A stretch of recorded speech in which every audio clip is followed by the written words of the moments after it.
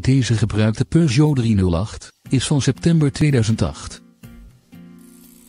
De goed onderhouden auto is een van de zuinigste in zijn klasse.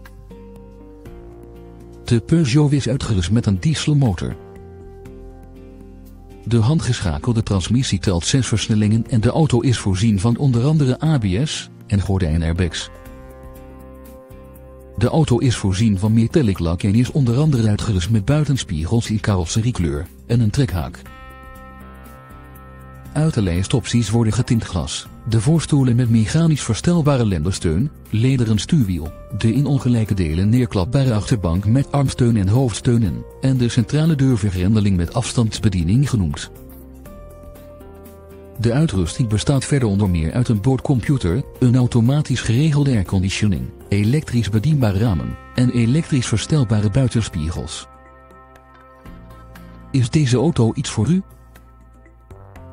U bent van harte welkom voor een vrijblijvende nadere kennismaking.